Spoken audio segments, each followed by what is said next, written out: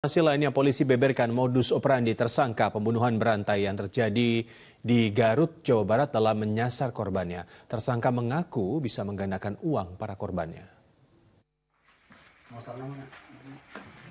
Perekrutan dilakukan secara berjenjang seperti praktik multi-level marketing. Satu TKW mengajak TKW lain untuk mengirimkan uang agar bisa digandakan. Wawon bahkan memanfaatkan istrinya Ayu Maimunah untuk merekrut dan meminta para TKW mengirimkan uang. Berdasarkan catatan buku rekening tersangka Solihin yang berperan sebagai penampung uang hasil kejahatan, total uang korban yang terkumpul mencapai 1 miliar rupiah. Direktorat Reserse Kriminal Umum Polda Metro Jaya menemukan 11 orang tenaga kerja wanita yang menjadi korban penipuan.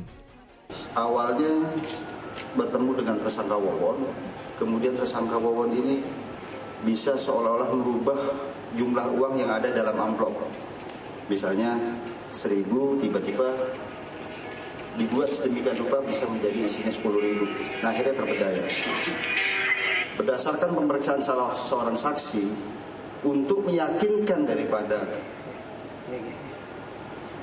saudara-saudara kita TKW ini untuk mengirimkan uang terus ke tersangka ini, ada salah satu yang datang kepada Wawon ditunjukkanlah ini rumahnya, ini mobilnya. Setelah disusuri itu adalah rumah dan mobil orang lain.